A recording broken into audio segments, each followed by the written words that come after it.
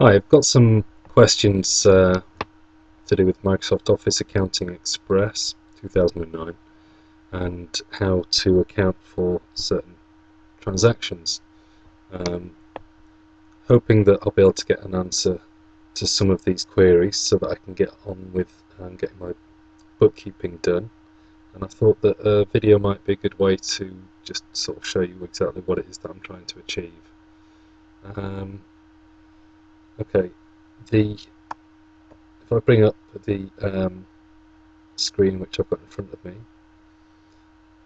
this is Microsoft Office Accounting Express 2009, the UK version, and um, what uh, what I'm trying to do is work out just how to basically, when I've spent some money, how to account for it, um, and um, so, for example, if I'm making a payment, uh, I don't understand why the option, the only three options are supplier prepayment, customer refund, or an employee reimbursement.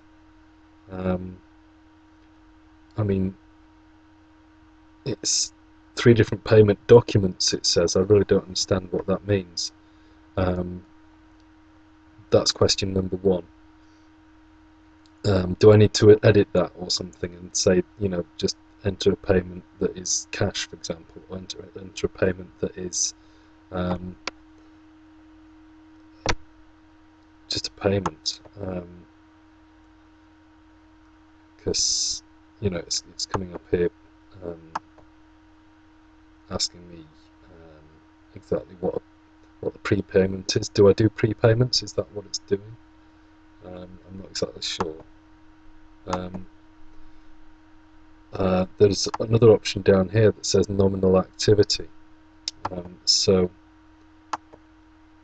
I've got my main account there, um, business account. Now I was trying to add some transactions to the business um, main bank account. Um, I was trying to import them as OFX files. That didn't, as CSV files. That didn't work. Um, so there other alternatives is to add them individually, and I'm not sure if this is the right way to do that. But this is this is another question I've got about this software: is are there any you know training videos that are aimed at the UK um, for this software?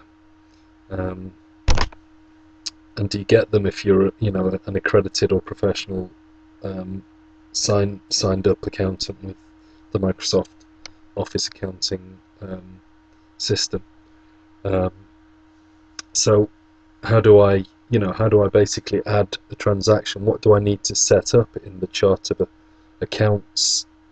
Um, I'm not VAT registered, but I think there was about three or four transactions within the period I'm accounting for that I was VAT registered before I deregistered.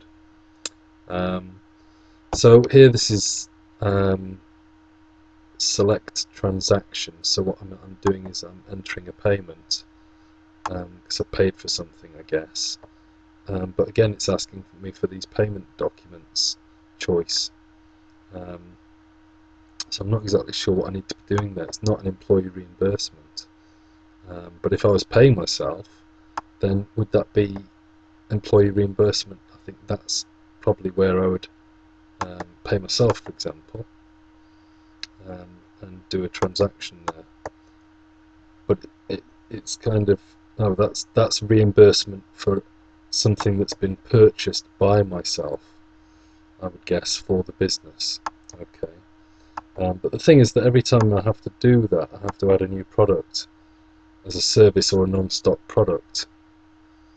Um, and I don't really, I don't really understand exactly what I need to set up there, because you know I might have to enter a lot of um, different, you know, for everything that I purchase, would that be set up as being a different item or are these kind of categories? I'm not exactly sure. Um, so that's that's kind of um, where I'm at with this so far. Um,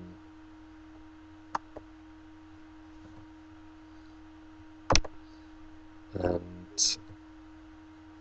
I've probably got more questions, but I'll, I'll pop them across if I come across them. Thanks for